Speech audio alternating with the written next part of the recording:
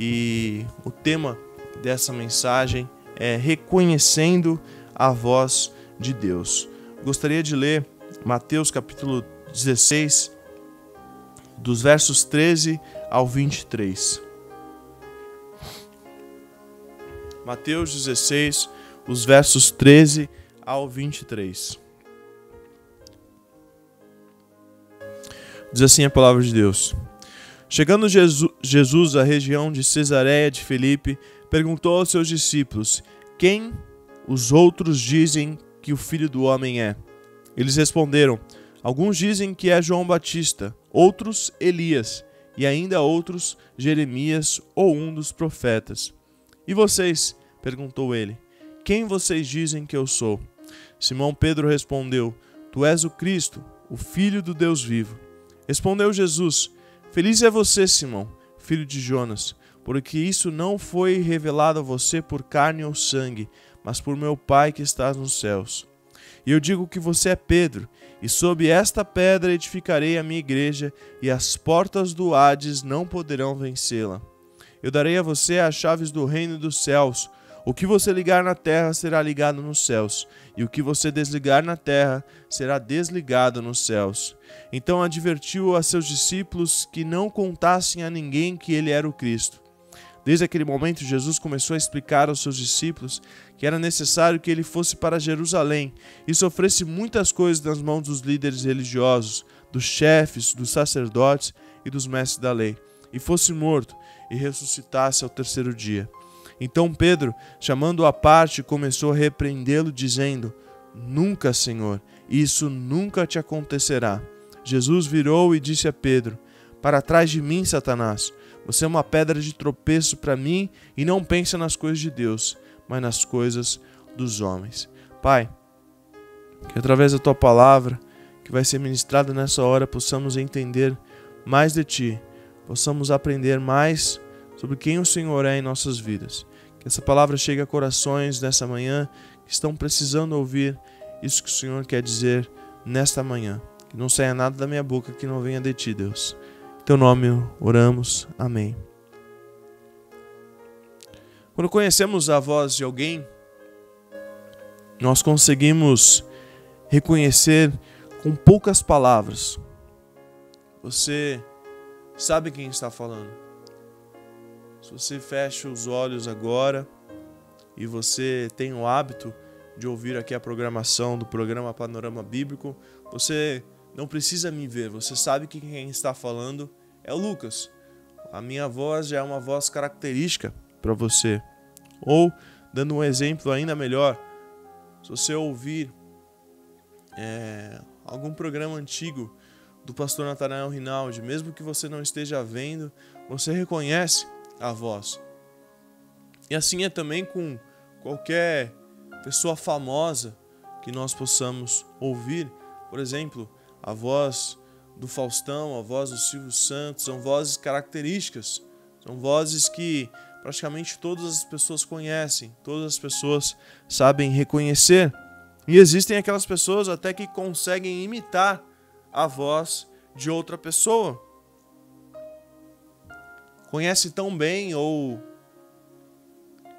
treinou tão bem para fazer parecido a voz daquela pessoa. Você encontra na internet milhares de pessoas que fazem imitações, que fazem é, paródias, conhecem, estudam aquela pessoa e conseguem é, captar o jeito que elas falam, o jeito que elas é, se comportam. E como uma pessoa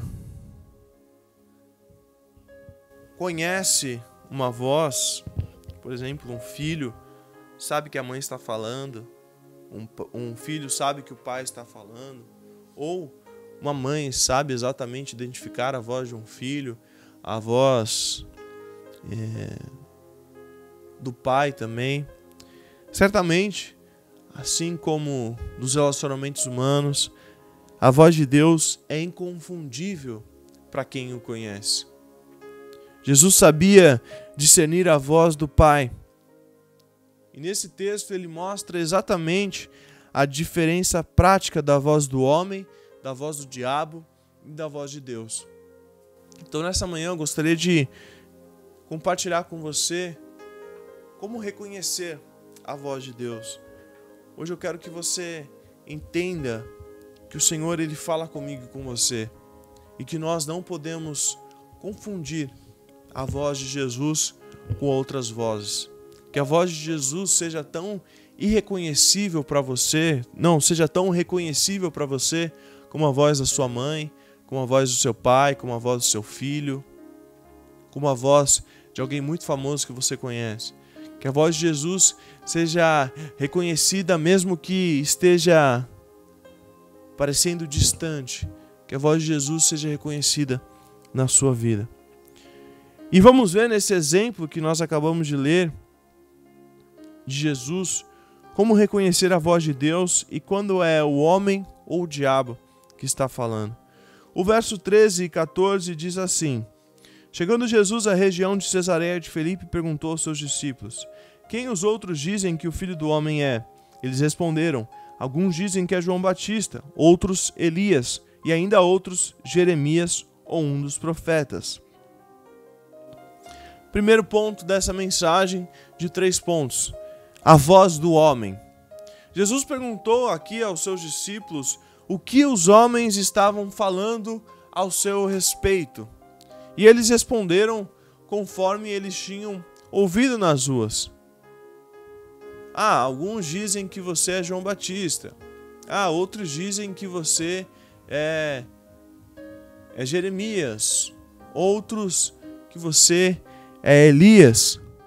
Então, é, responderam conforme tinham ouvido é, nas ruas, comparando o mestre com os profetas, alguns dos profetas, João Batista, Elias, Jeremias.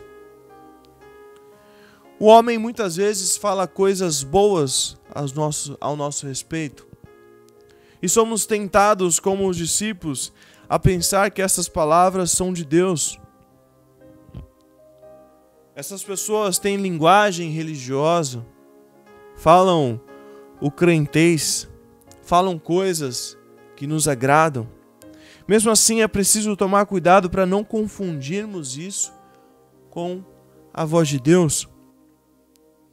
O ditado diz: a voz do povo é a voz de Deus. É uma das maiores mentiras, mentiras repetida constantemente. A mesma multidão que gritou Osana no domingo também gritou crucifica na quinta-feira. Nem sempre, quando todos estão falando bem de nós, significa que Deus está os usando para falar conosco.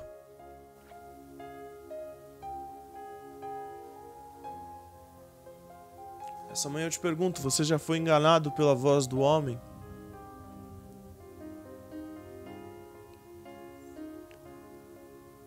Muitas pessoas são bajuladoras. Falam, falam, falam tão bem. Se comunicam tão bem. Falam tão bem de você. Mas estão apenas preocupadas no seu próprio benefício. Naquilo que é importante para elas. É como se elas estivessem preparando um terreno.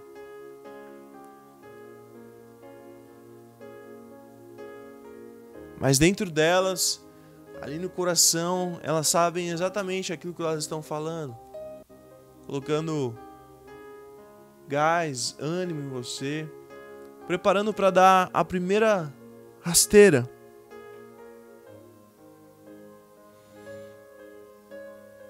Nem sempre quando todos estão falando bem de nós, é que Deus está os usando para falar conosco. Maldito é o homem que confia no homem, diz Jeremias 17,5.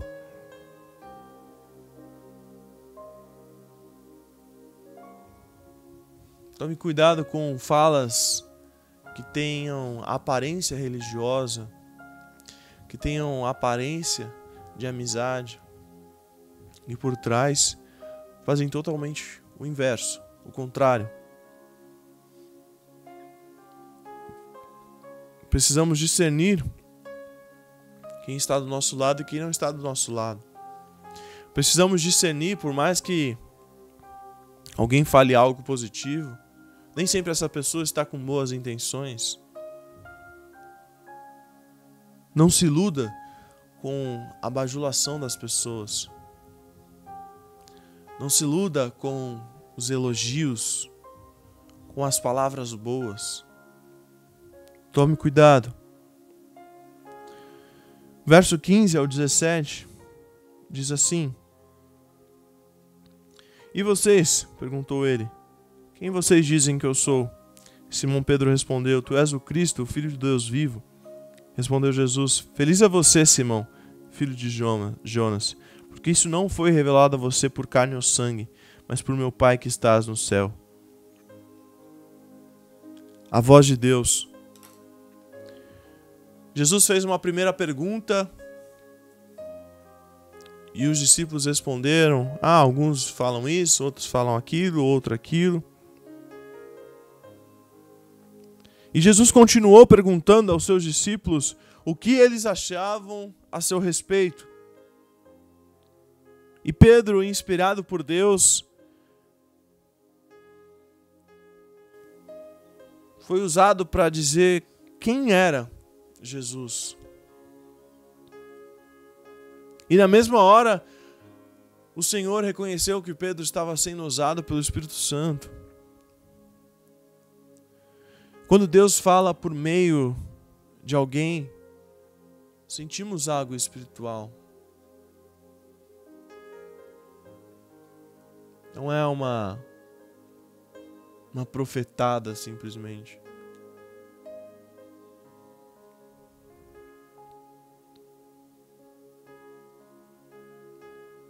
Deus manda te dizer, aí fala uma coisa nada a ver ali.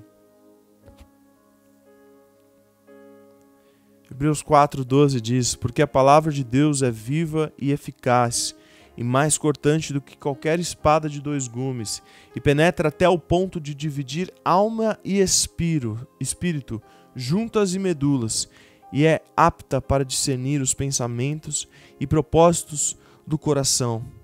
Isso significa que quando Deus está falando, tanto quem ouve ou quem fala aqui diz a espada de dois gumes, são penetradas profundamente pela voz de Deus.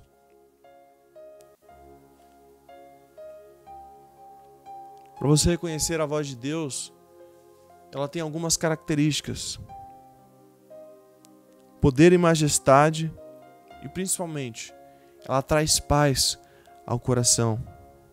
Ela contraria a vontade do homem para anunciar a vontade de Deus. Ela sempre está de acordo com a palavra de Deus. Ela não foge daquilo que já está escrito em Sua palavra. Ela não é inventada. Ela não é chutada.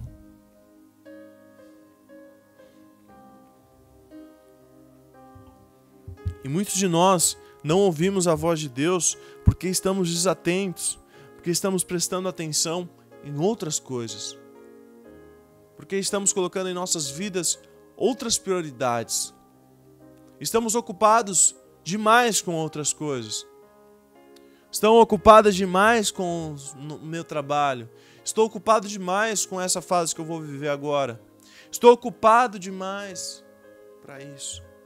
Ficam desatentos.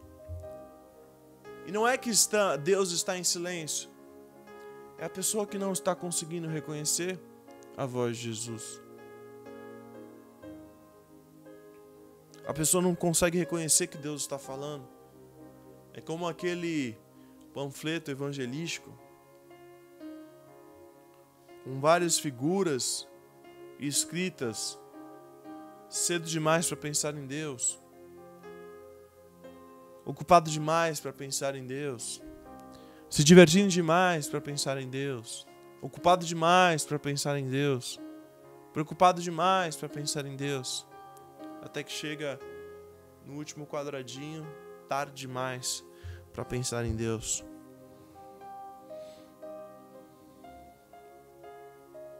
Até quando você vai permitir que o pecado coloque um tampão nos seus ouvidos para que você não ouça a voz de Deus? Até quando você vai permitir que o tumulto de tantas coisas que estão ao nosso redor coloque um tampão nos seus ouvidos para que você não ouça aquilo que o Espírito Santo quer dizer para você? É tempo de acordar, é tempo de despertamento espiritual. É tempo de reconhecer quem está do seu lado e quem não está do seu lado. É tempo de reconhecer que Deus quer falar com você. E muitas vezes somos nós quem impedimos que Ele fale conosco. Você já ouviu Deus falar com você? Ah, mas é muito distante isso. Deus não vê a minha dor, o meu sofrimento. Nós é que estamos longe, nós é que estamos afastados, nós é que estamos negligenciando a presença de Jesus e ainda assim temos a cara de pau de colocar a culpa em Deus, em coisas que nós mesmos não fazemos, em coisas que nós mesmos colocamos empecilhos. Pare por um momento e pense na semana passada. Quantas vezes você parou para falar com Deus?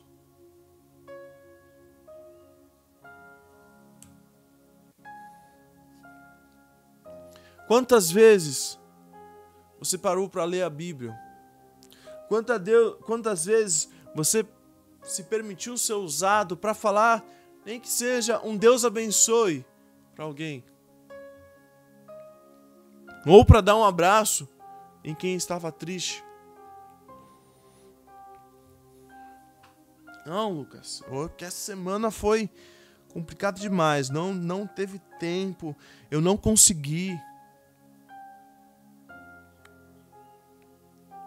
E novamente eu volto para aquele ponto quando a gente precisa, a gente sabe exatamente como orar, a gente sabe exatamente como pedir, a gente vira o expert na palavra de Deus. A gente vira o expert em pedir. Deus, tem misericórdia de mim. E quando a situação passa ou tudo fica bem, quem é Deus? Agora eu tenho que me preocupar com outras coisas. Agora eu tenho que continuar a vida.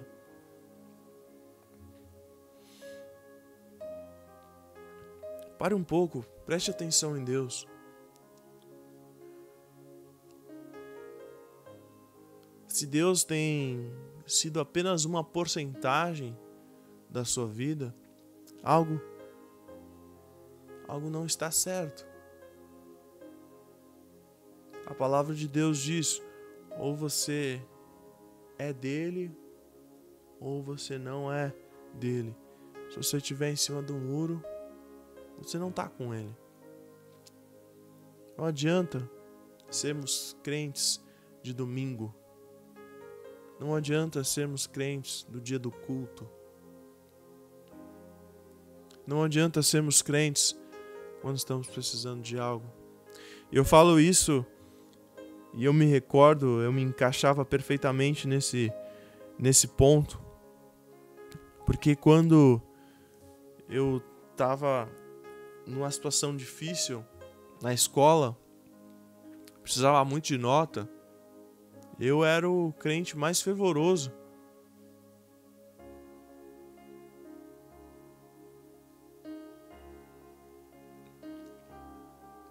E uma vez até fui falar pro meu pai, pai, ora por mim. Amanhã eu vou fazer uma prova muito importante.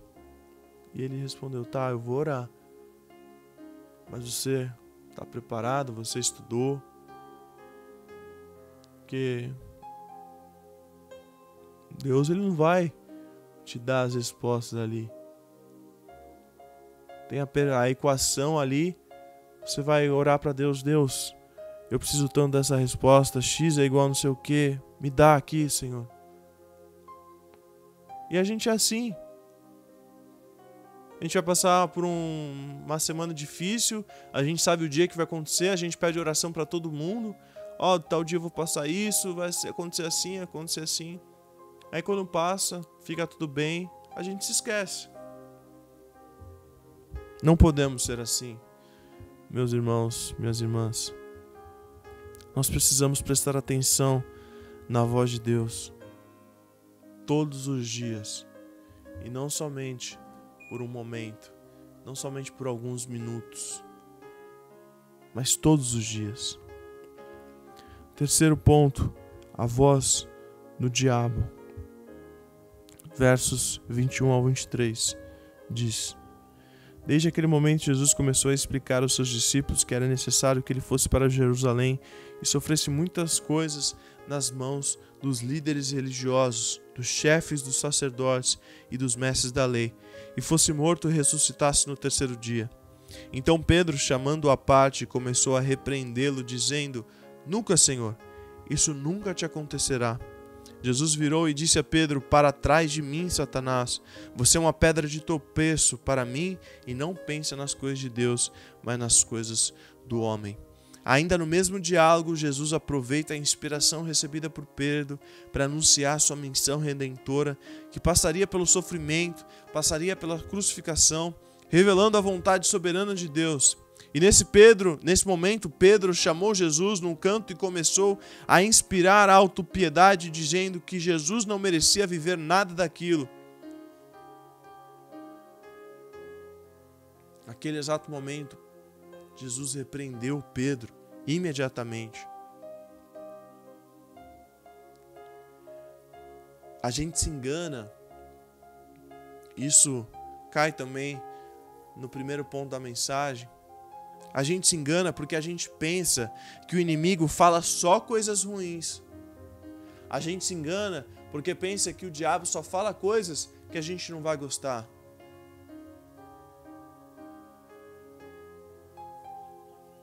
A palavra de Deus diz em 2 Coríntios 11, 14 que o diabo se, se transforma em anjo de luz. E no fim dos tempos o inimigo vai fazer de tudo para enganar todo mundo. Com certeza você já ouviu isso.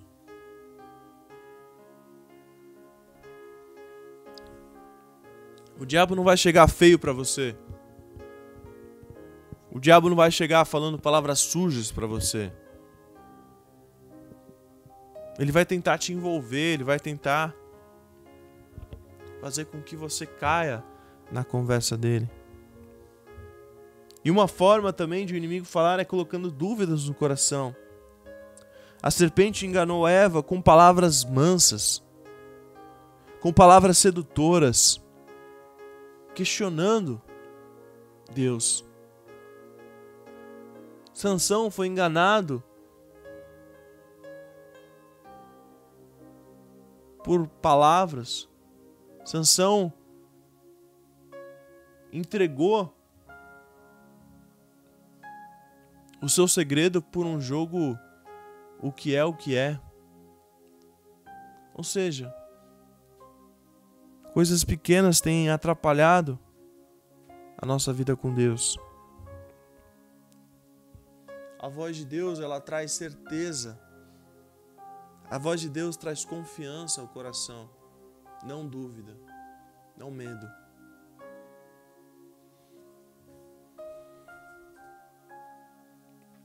A autopiedade tem sido uma forma muito grande de Satanás falar com as pessoas.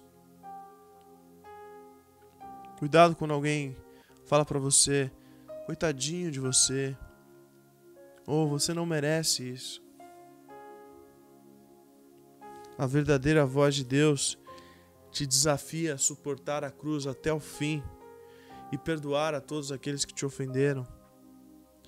Você consegue discernir quando o diabo tenta te enganar? Não aceite dúvidas ou autopiedade que vem do inimigo. Reconheça a voz de Deus. Infelizmente, muitos de, muitos de nós estão como Pedro, que ora falam que o mundo está dizendo, ora são usados por Deus e depois dão ouvidos ao diabo.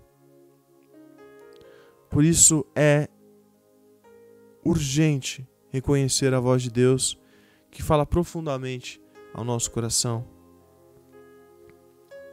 Nessa manhã, nossa oração aqui como igreja é para que o Senhor dê discernimento aos nossos corações e que Ele fale conosco. Peça ao Senhor que fale com você. Deus, acabamos de compartilhar a Tua palavra. Sabemos que o mundo tenta colocar as Suas verdades em nossas vidas. O mundo tenta colocar aquilo que ele acha que é certo. E Deus, nessa manhã nós queremos conhecer nossa dependência em Ti, nossa confiança em Ti, principalmente, Deus, que possamos discernir as vozes, a voz do homem, a voz do diabo, da Tua voz, Senhor. Que nessa manhã nós possamos ouvir a Tua voz, Deus saber aquilo que o Senhor quer para as nossas vidas, saber aquilo que o Senhor está dizendo ao nosso coração. Deus, não permita que sejamos enganados. Em teu nome, Senhor, transforma a nossa vida, o nosso coração, nossa mente, para que possamos estar espertos, ligados naquilo que o Senhor tem para falar a cada um de nós. Não permita que caiamos em erros que nós lemos aqui na, na palavra de Deus, erros de pessoas que conhecemos, e nós também que já caímos. Não permita que continuamos, continuemos caindo no mesmo erro, mas que possamos, através da, da tua palavra, através do seu Santo Espírito, reconhecer o Senhor está falando conosco. Deus, muito obrigado por essa manhã, por esse momento de compartilhar a tua palavra cada pessoa que ouviu essa mensagem possa entender que o Senhor tem sempre algo novo a nos dizer. O Senhor sempre tem palavras, é, mais que por um momento sejam duras, o Senhor sempre tem palavras de vida e palavras de vida eterna.